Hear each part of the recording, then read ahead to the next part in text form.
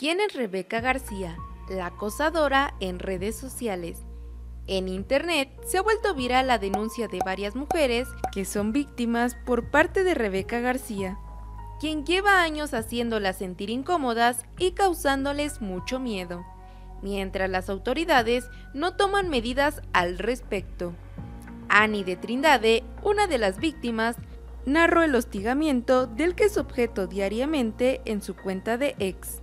Jamás pensé que tendría que hacer este hilo, pero creo que llegó el momento. Estoy harta del acoso de Rebeca García, y estoy harta que la ley la proteja solo por ser mujer. Rebeca es una mujer que ha dedicado su vida en acosar mujeres inocentes. La presunta acosadora no se limita a las redes sociales para acechar a mujeres, pues su obsesión la ha llevado a invadir propiedades privadas, perseguir automóviles e intimidar a las pasajeras. Una de sus excompañeras de la escuela afirmó que Rebeca tiene problemas de límite de personalidad agravados por el uso de estupefacientes, por lo que ha sido internada en hospitales psiquiátricos sin que hasta ahora haya tenido resultados positivos.